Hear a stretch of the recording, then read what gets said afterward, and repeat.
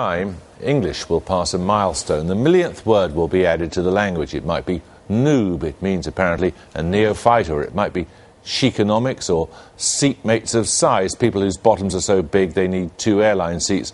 Or it might be none of them. In fact, the whole thing may just be a ridiculous racket got up by a bloke in Texas with a convenient bit of software.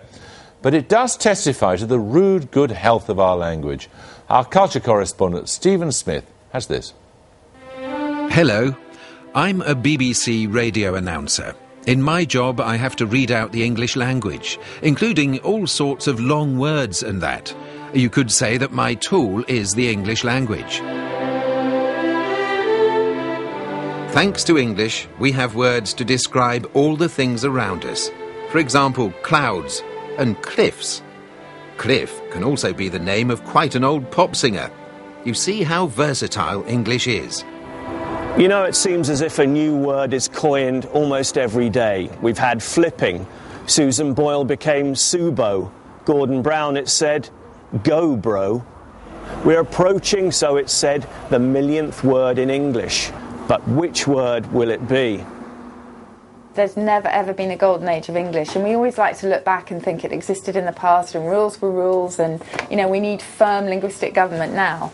Um, but if you, as I always say, if you look back to Shakespeare, he was criticised so much for for verbing. You know the thing of turning a noun into a verb that people hate today, whether it's texting, uh, blading, solutioning.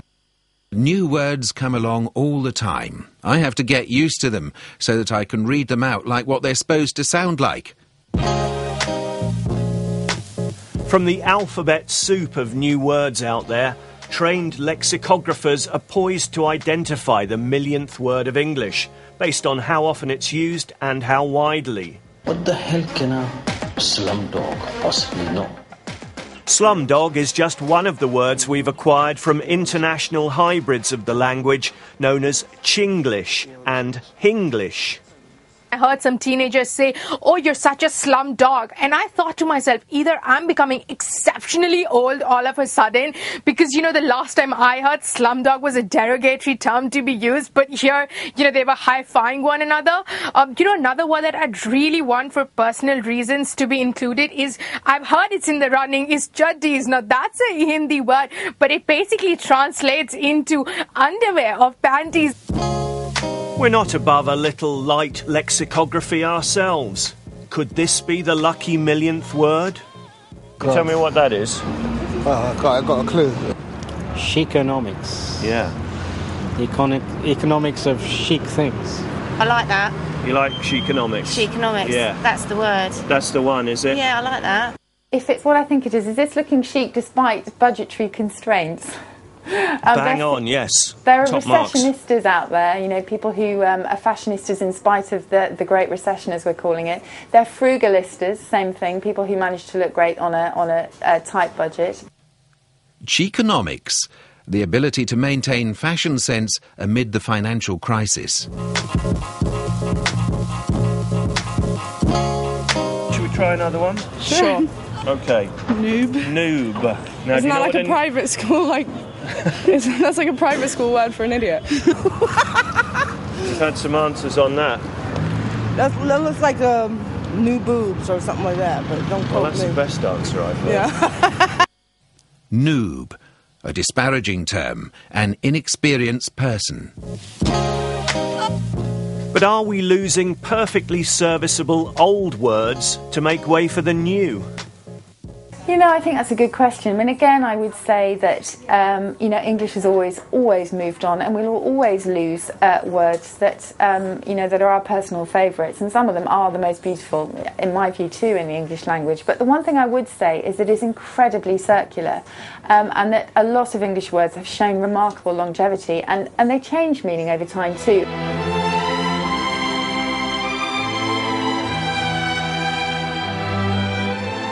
I like all words in English, especially North Utsire and South Utsire.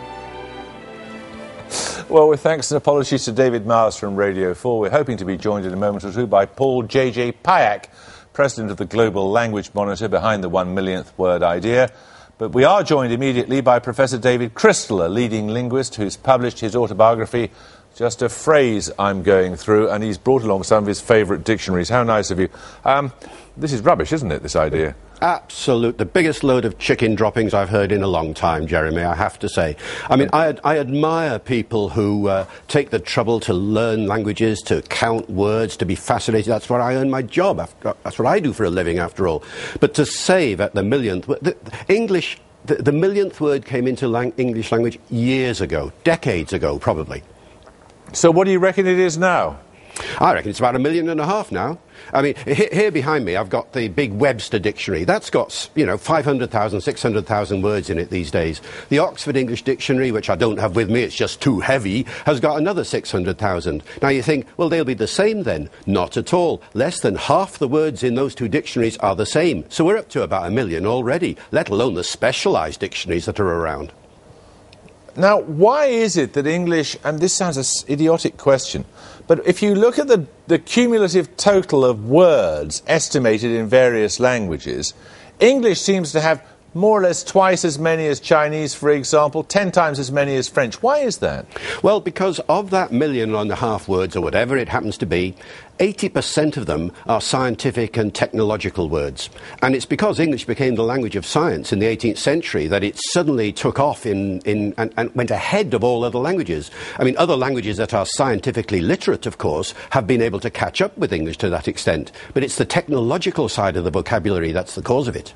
And the fact that the language is now spoken so internationally means that there are now different varieties of it. And surely one of the definitions of a language or one of the requirements of a language, is that people in different territories can understand each other. But aren't we getting to the point now where parts of it are so fragmented they can't understand one another, although apparently speaking the same language? Well, yes, that's happening, absolutely. What's happening in many parts of the world is that two levels of English are being used. Go to Singapore, for instance, and you'll hear standard English spoken, more or less the same sort of thing that you and I are using now. But you'll also hear on the streets of Singapore a local variety of English, Singlish, a bit like the varieties you were talking about in your film a few moments ago. And that you and I would not understand. So people are becoming more multi-dialectal in their own language, if you like. Standard English is the glue that binds all these varieties together, but at a local level, expressions of identity come with local dialects. I once heard somebody say that one of the reasons English was so popular as a language to learn, as a lingua franca, was because it was like Malay, very easy to speak badly. yes, that's right. Well, I've heard that argument too. No, there's only one reason why English has become a, a, global language, and that is the power of the people who speak it. Of course, power means different things at different times. It meant political and military power once upon a time, and then it meant science power, as I said before. And then in the 19th century, it meant economic power. And now in the 20th century, it was uh, cultural power. And all of these things have made English attractive to so many people. Two billion people speak English now. What is going to be the consequence of the emergence of China then as, as the new superpower? Will that put English into retreat? It might do. I mean, futurology questions about language are always really about the politics and society that underlie them. I mean, I think there are three languages that, depending upon what happens in the world, uh, could take over from English one day. Chinese is one, certainly. Spanish is another. Spanish is the fastest growing language in the world at the moment, uh, thanks to South and Central America. And of course, Arabic okay, hang on. I'm going to have to interrupt you there because I think we've now got Paul J.J. Payack in Texas. Can you hear us okay? Yes, I can. You Excellent. Come in loud and clear. Excellent. Good. Well, this is rubbish, this idea of yours, isn't it? It's not going to be the millionth tomorrow. it might actually be the 10 millionth, right? It's like, uh, well, David Crystal has a, a, good position on a number of words in a language, and, and we basically agree with, with a lot of what he says. You've I mean, no uh, shame. Why are you claiming? To, why are you claiming it's going to be the millionth word at 10:22 tomorrow when apparently you could be out by a factor of 10? Well, not really. I mean, it depends how you look at it. I mean, like, you know, I have a long history in technology. And what we do in technology is we have a problem, we put bounds around it, and then we try to solve the problem. Now, if this started five years ago when we were looking at trying to figure out how many words were in English language in general. And, and we used a term, uh, we used a, a, a, way to do it. We went to the major unabridged dictionaries, saw how many words were in each of the dictionaries, came up with a base count and unabridged dictionaries of all the great English speaking com- countries. And then what we did is we, that was about 650,000. And then we studied some historical linguistics on how words were added to the language. And I mean, there could be 10 million, but there's only 450 in a Merriam-Webster's unabridged. There's about, I don't know, oh five or 600,000 in the OED right now. And so what we did is use that at our base and then saw the so, new words that were percolating right. along and we started adding them. I, I think what you're saying is we, we, get our estimate. Well, what, what you're saying is we shouldn't take this figure of the millionth word very seriously.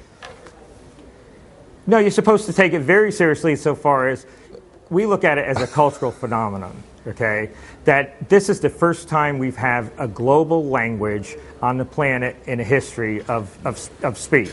Okay, we've had, uh, you know, uh, French was a diplomatic yeah. language, um, Latin was a medieval language, but it's always been but it's I'm, always been localized. We've just been looking, now we have a global language. We, yeah, absolutely. We've just been looking at a, a clock on your website counting down.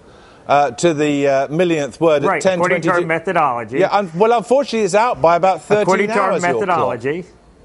Yeah, but even the clock yeah, on your website's we're, we're trying to look into that. It's, oh, it's technology. Give me a break. It's like we couldn't even get through to you with the, the television, right? I mean, that's just how it works. It's like the the the, uh, the calculations are mathematics Okay, it's, it's pure mathematics, and we extrapolated from the base number of words that were generally accepted in the dictionaries and right. how many words are being added, and it comes out to a million. Okay, well, look, thank you very much. I'm so sorry about the communication problems, but thank you for joining us, both of you. Thanks very much. uh, tomorrow morning's front pages, one or two of them, uh, the Times and indeed the Daily Mail have accusations against the Metropolitan Police that officers engaged in water.